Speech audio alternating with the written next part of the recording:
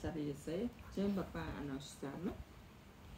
មានរាជសីមួយក្បាលมันអាចចេញទៅរកអាហារបានព្រោះតែខ្លួនចាស់ជរានិងសុខភាពមិនល្អទៅវាគិតរីរកមធ្យោបាយដើម្បីឲ្យបានអាហារមកឆី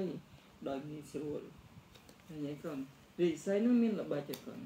ដោយសារតែខ្លួនឯងចាស់ជរាហើយទៅណាអត់បានណាអញ្ចឹងវារកល្បិចមួយដើម្បីឲ្យបានចំណី អាហារហ្នឹងស៊ីដោយងាយស្រួលមិនបាច់ចាំបាច់ទៅរកខ្ជិលណាស់ខ្ជិលណាស់រាជសីហ្នឹងហើយនេះនេះរាជសីពងពងដេកទេកូនឃើញទេ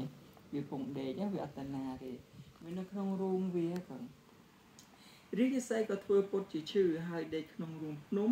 និងប្រកាសឲ្យគ្រប់សត្វទាំងអស់ដឹងពីរឿងនេះឃើញទេគេអត់ទៅណាគេធ្វើដេកនៅក្នុងរូងហ្នឹងតែគេប្រកាសឲ្យ